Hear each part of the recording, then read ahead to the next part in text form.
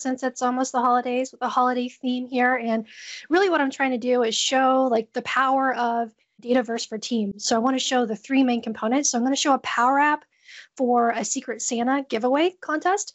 And I'm going to show the back end of how there's a Power Automate flow that's going to send notifications via Teams to the users to let them know who they've been matched with. And then also, just for a little extra piece of functionality of this, we have a Power Virtual Agent bot that's going to, you're going to be able to talk to and get gift ideas for the person that you're matched with. So kind of showing all of the pieces of the stack. So crossing my fingers that the, the demo gods are in my favor today since this is a live demo. So first of all, I thought I'd do a very quick overview of like how do you even start building, say, Power Apps within this. So there is, like Wes mentioned, a new Power Apps application specifically for Teams. So you would go and click on that there in the left rail, and that will open a fully baked Power Apps editor just for building these Dataverse for Teams applications.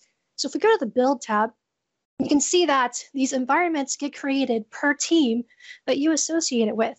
So I've created a team here called Secret Santa. So if I click on that, I can see on this Built by this team tab, everything that I've built related to this Secret Santa solution that I've built. So I can see I have a Secret Santa Canvas app.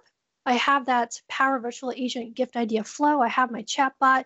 And then here are my tables. So that's the data source. Now, one of the biggest benefits of Dataverse for Teams is the fact that we can leverage the true relational database and all of the benefits we get with the Dataverse um, for Teams system. So I can see I have three tables. So it's a really simple solution here. So I have my events in a table. And one of the things I love about this is the editor is really kind of modern SharePoint-esque. So we can see you know the, the entities and the columns and relationships and views, but if we click edit data, I can see all of my data in here for the events that I currently have and it looks, you know, we can edit it in line. So that's that's the power and the benefit of that. Now let's just walk through the solution. So you can see that I was able to deploy this actually here in the left rail. So I have a secret Santa application that's going to load. Um, just show some visuals like you can move stuff. So Santa's ice skating around here. And then that's going to take us to the management screen. So main things we're trying to accomplish here is listing the events that you can be a part of. Because really what I'm trying to do with this is have it as a one-stop shop to where for different groups or people um, organizations within your business you can have different gift exchange or secret santa events. So you can join different ones and they'll show up here in your my events. You can see things like when the event's going to be what the budget is for the gift and if the matches have been drawn yet. And then we can see the different events that we could join we get a teams ask experience here where we can see, well, who's currently participating in this event. So I can see if um, it's something I want to join. Um, hover over that, I can see their name. So like Bob's participating here in the HR department gift exchange. And I can go in and join. So what I'm going to do is I'm actually going to switch over here to the preview and we'll just walk through a scenario. So say I want to join the IT department Secret Santa. I can go and click our join button. It'll take me to the screen where I can sign up it's going to pre-fill some information.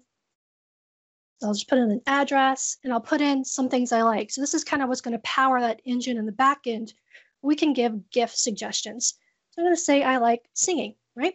So on the left, you'll see we have some details about this again, so I can know what the budget is, so I know what to expect, the max participants, when the deadline to sign up is. So, you know, it'll kind of restrict what's shown here if it's past the deadline to sign up, and some details. So I'm just going to click this checkbox and that's going to register me. I'll see a confirmation that I'm all set and know when we're going to get the match results. So now I'm going to go home. So now that's going to show up here on my My Events section. Now I'm both participating in the HR and the IT gift exchanges. Now, how do we actually draw the matches and get that notification? So to do that, we're going to go here to Manage Events. And I'm going to click on, say we'll do this IT one. And we'll just put this in edit mode. And I'm just going to select this draw names button. So this is going to, in the background, do some fairly complex logic to loop through everyone that said they want to participate in this and match them up. So it's doing things like making sure that you're not matched up to yourself, right? So that's going to load, that's running in the background. Now I should get a notification. You see something popped up here in the chat. So I'm going to click on my chat message and we see I have an adaptive card from the Flowbot. So this is happening behind the scenes. I get a notification that for the IT department Secret Santa, I've been matched with Henrietta Mueller. I can see her contact information so I know who to send my gift to. And I'm even getting um, a link to some gift ideas to a, a Power Virtual Agent bot so I can get the gift ideas. So let's see how the interaction with the bot works. So I'm going to click here on the left rail and I see I have this Secret Santa gift helper. First thing I'm going to do, I want to make sure I'm spelling her name right because I'll need that for my bot. So let me just copy her name there. And we will go over here back to my bot. So what I'm going to do, I'm just going to ask my bot, say I want gift ideas. Okay. My bot's going to call, it's going to respond to me. And this is all built with Dataverse for Teams and PVA, low code, no code needed. So it's going to ask me, well, who's this for? Who are you trying to get gift ideas for? So I'll type in Henrietta's name. It's going to call back and it's going to look at that Dataverse for Teams tables that I have. And it's going to return um, the keywords. So what we've said that we like when we register for this and return a link to shop for that in Amazon. And actually, I think I forgot to put what Henrietta likes. So let me try someone else. I'm pretty sure Bob is in there as well. And I did fill out a like for him. So we're going to do a search for Bob. There we go. And I'll just copy that Amazon shopping URL and I'm going to get some instant gift ideas for Bob. I know he likes guitar a lot, so I can pick out some nice accessories for him. So, kind of a fully functioning, fully baked solution that we have here using Power Apps, Power Automate, Power Virtual Agents, all within Microsoft Dataverse for Teams. Now we'll take a look at some of the backend and kind of what's going on here, um, some of the, the logic that we see a lot of this is in the draw names button. So this is where some of that complex, how are we deciding, for example, just to get unique people and assign those? So if I expand out our formula bar here, we can kind of see how complex and you know some of the stuff that we can do um, within Power Apps that looks almost like full code esque. The first thing I'm doing is I'm using a for all, which is a way to do a loop like we would in traditional code. So I have a collection of the people that have signed up, a local collection for this particular event. So I'm going to loop through those and I'm going to put that out using the collect function to another collection to pair them up. So um, one of the things how I'm doing this is getting the unique receiver. So I have you know a database in the background. If we kind of pop back over to this real quick, I'll show you the how that works. We have those three tables, if you recall. So I'll go back here in the built by this team. We see we had events. So those are the events that show we have participants. So this is where when you click that join button, it's going to get outputted here to this participants list or table within Dataverse for Teams. So I can see there's everyone that's signed up, their uh, mailing address, and then that's the like information. Now I have another table for pairs. So this is where I'm going to click that button that I was just showing in Power Apps, and it's going to match people up. So when I ran that before, you see that it took everyone that participated. It has a giver column, so that's the person that will be giving their gift, and then it has a receiver, so it paired them up. So we each have someone to give a present to and someone to receive one. So that's what's happening in the background here. So what I'm going to do is I'm going to filter the gallery of people that have signed up for this, right? The collection there. And I'm going to say where the receiver's name is not equal to the giver's name. So I can make sure I'm not matching someone up with themselves. We have another function here that's available in Power Apps called Shuffle. So we want this to be random. So Shuffle is going to allow us to pass it in a data source, and it's going to randomly kind of mix up the order of that. So I can combine that with our first to get one unique person as the receiver from that particular list. So that's going to add that into a local collection for me and match those up. Now what I want to do is I'm actually passing in Power Automate this data of the pairs to Power Automate. To do that, I need to convert this to JSON because I'm going to pass a JSON object to Power Automate so that it can go and loop through that and notify the people via chat like you just saw. So I'm going to create a collection based off of this called collection JSON pairs and format the values as a JSON object. So you see I have my squiggly bracket here. I'm just mapping up the values with data that I need to pass to Power Automate. Uh, then how this is working, I'm removing as I match someone up in that collection, I'm removing them so they can't be picked again from the collection. Now I'm doing one more for all where I'm going to patch to that Dataverse for Teams table of pairs, the data that was in the collection of the values and the matches. Now here's where we're actually going to go and call that flow. That's going to notify the users of who they've been matched with in Teams. So I have a flow called Secret Santa pair notification. So I'm going to do a dot run and I'm going to pass in JSON using the JSON function in Power Apps. I'm going to take that collection and just pass it as a JSON format of compact. So now the flow can kick off and kind of get started with that. And we can take a quick look as well at this flow here. So I'm going to go to Power Automate and we will edit this. Okay.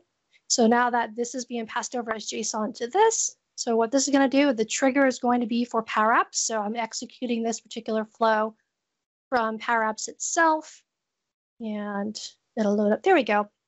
So I'm going to put in that JSON input into a compose, and then I'm going to parse that JSON.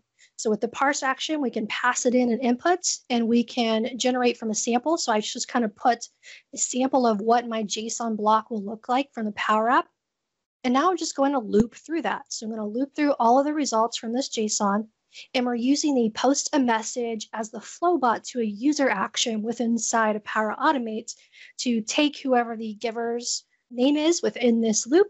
And then we're going to give them some information about who they've been matched with and their email address and address. So it's really as simple as that. That's what's going on there. We'll go back to the app and look at that draw names.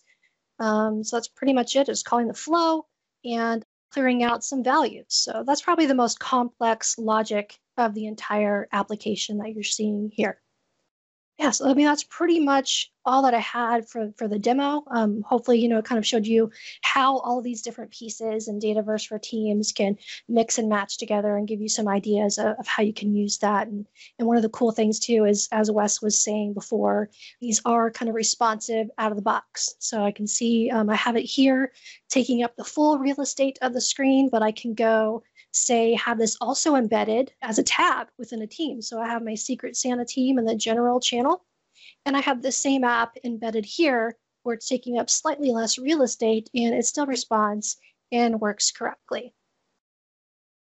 All right, so I guess I'll give it back to you, June. I don't know if we have any questions or anything, but that's really all that I, I had to show for that demo. Wow, this is really freaking awesome. Thank you. Thank you, April. And, you know, I think I heard you're going to be uploading this pretty shortly, right? Yeah. Um. So yeah, I, I want to. This is one of the things I want to put in that sample, the repo that that Bob was showing. Yep. There you go. Yeah. So if if folks on the call are anything like me, you know, I'm procrastinating on all my Secret Santa stuff and like setting up those events. So you know, you can always go to April sample, and that'll help speed up, you know, your Secret Santa planning. Hi. First of all, thank you um, April, thank you very much. You're doing all the women here proud.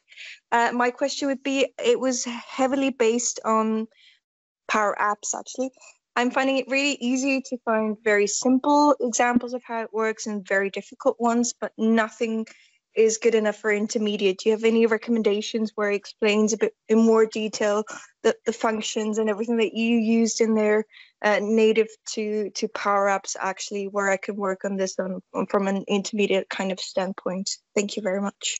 Yeah, thanks, Anna. Um, yeah, good question. Um, you know, there's lots of obviously the Learn documentation kind of walks you through a lot of that. You know, a lot of the the hard stuff is just knowing what formulas are there and when to use them there's a great resource on docs.microsoft.com that lists every single formula that you could possibly use in Power Apps and, um, you know, explains it at, at, a high level and some shows you some samples of how it's used.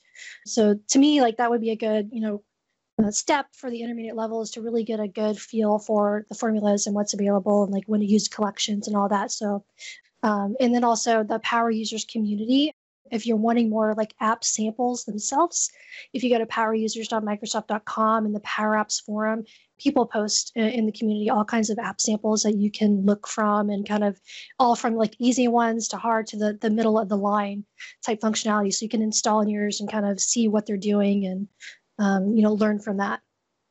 So hopefully that's helpful. Yeah, it is. Thank you very much. We have another hand raised. Hello, everyone. Apologies as I arrived late if this was already answered.